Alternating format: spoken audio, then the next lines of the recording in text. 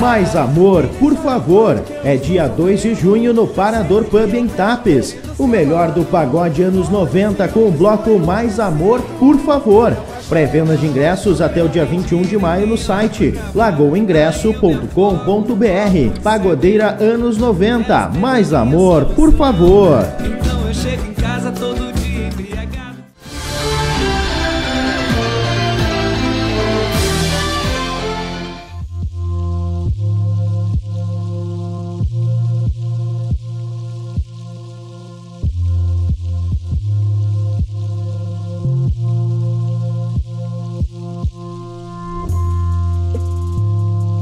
Prioritários uh, entram então as crianças de 6 meses até 4 anos, 11 meses e 29 dias.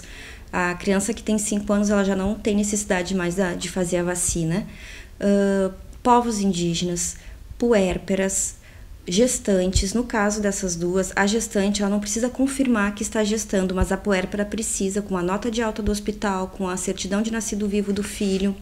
Professores, Uh, pessoas que têm alguma comorbidade, que têm alguma doença renal, que têm alguma doença crônica respiratória, hipertensão. Esses pacientes que têm alguma doença crônica uh, têm que levar algum comprovante, a receita da medicação, o, o laudo médico, para poder facilitar e fazer essa identificação.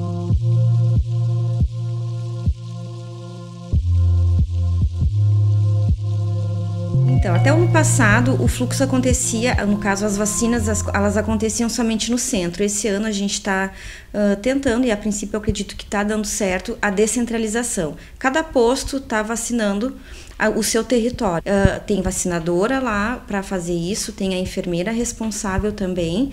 Não vai ter na Secretaria de Saúde, não vai ter no hospital, somente nos postos em horário de posto de saúde.